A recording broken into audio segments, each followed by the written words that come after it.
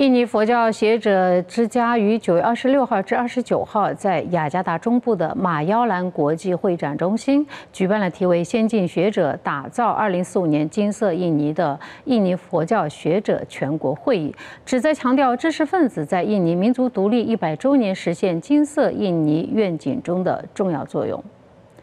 宗教部副部长夏伊福及多位印尼佛教界的重要人士、政府、国会、议会议员和其他跨宗教学者领袖出席了当天的活动。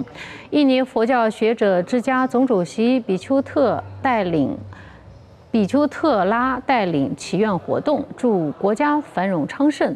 创始人兼董事会主席代表 Garuna 表示，印尼佛教学者之家成立三十年来，持续致力于汇聚佛教学者的队伍，不仅是为了印尼佛教的进步，也以人道主义的价值观和宽容为国家建设做贡献。希望该全国会议能够为国家发展，尤其是人力资源领域做出重大的贡献。此次全国会议以“先进学者共创黄金印尼二零四五”为主题，致力于继续加强跨宗教合作，创造更美好、更有竞争力的未来。Demikianlah yang bisa saya sampaikan.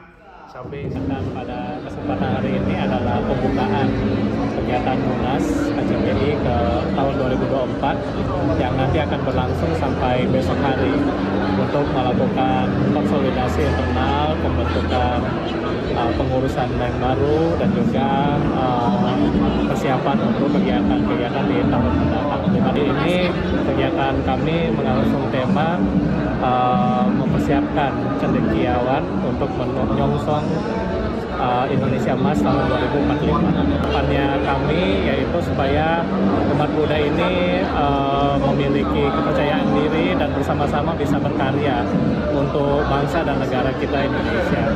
Ya. Jelajahi cara baru mendapatkan informasi. Download Metro TV Extend sekarang.